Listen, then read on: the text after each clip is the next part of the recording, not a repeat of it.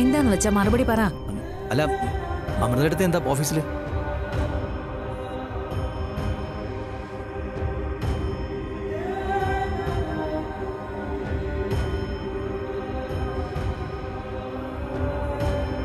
അല്ല എന്താ എടുത്തൊന്നും മിണ്ടാത്തെ? അരുൺ ഇവളെ അറിയോ? ഇത് ജാസ്മിൻ. നമ്മുടെ കമ്പനിയുടെ പുതിയ സ്റ്റാഫാന്ന് തോന്നുന്നു. തോന്നുന്നേ ഉള്ളൂ. അപ്പൊ സ്റ്റാഫ് അല്ല അല്ല സ്റ്റാഫാ.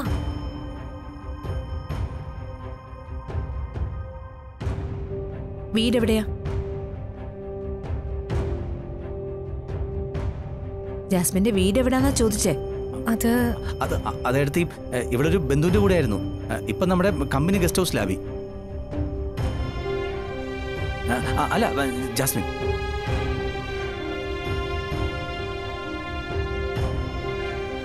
അബി ജാസ്മിൻ. അ- അല്ല എടുത്ത് ഈ, അ, ഇത് പുതിയ സ്റ്റാഫ് അല്ലേ അതാ എനിക്ക് പെട്ടെന്ന് പേര് ഓർമ്മ വരാത്ത.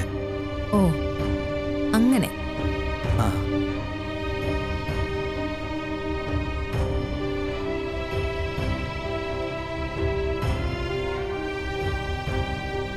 ഓ അങ്ങനെ.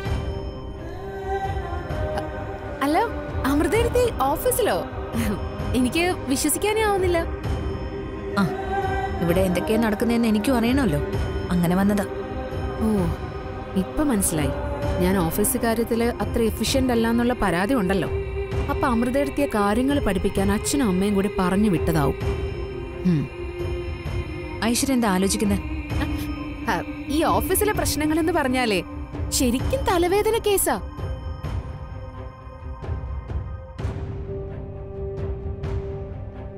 ഉം, സമാധാനത്തിൽ വീട്ടിൽ കഴിയുന്ന അമൃതെടുത്തി അതിനിടയിലേക്ക് എന്തിനാ വന്നത്?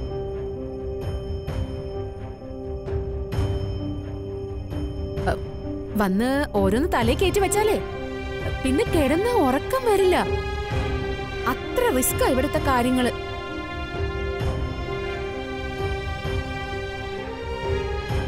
ആ അത്ര റിസ്ക് ഉള്ളത് ഇവിടുത്തെ കാര്യങ്ങളെന്ന്. എനിക്കിപ്പോ ബോധ്യായി. അതാ ഞാൻ പറഞ്ഞേ. ഏട്ടത്തി വേഗം വീട്ടിലേക്ക് പോയിക്കോ. വീട്ടിലെ കാര്യങ്ങളും ആദ്യേട്ടന്റെ കാര്യങ്ങളൊക്കെ നോക്കി മനസ്സമാധാനത്തോടെ അവിടെ കഴിയും.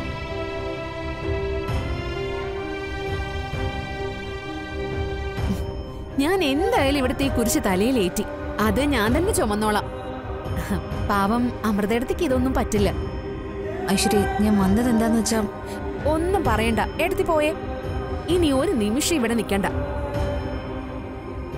വെറുതെ ബീപ്പ് കേറും. പോയേ? ഐശ്വര്യ അതല്ല ഞാൻ ഞാൻ പറയുന്നൊന്ന് ഞാൻ പറയുന്ന കേക്ക്. ഏട്ടത്തി വേഗം പോയെ. ഐശ്വര്യ ഞാനൊരു കാര്യം എഴുതി ഒന്നുമില്ല. എടുത്തിയും കൂടി ഇവിടെ കഷ്ടപ്പെടാൻ ഞാൻ വിടില്ല. ഏട്ടത്തി വേഗം പോയേ. വാ ഏട്ടത്തി. വാ. ഐശ്വര്യ ഞാൻ പറയട്ടെ. ഐശ്വര്യ അമൃതെടുത്തി ഒരു സെക്കൻഡ്.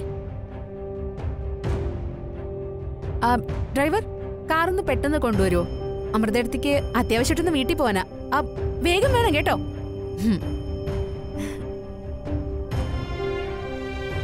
ഐശ്വര്യ.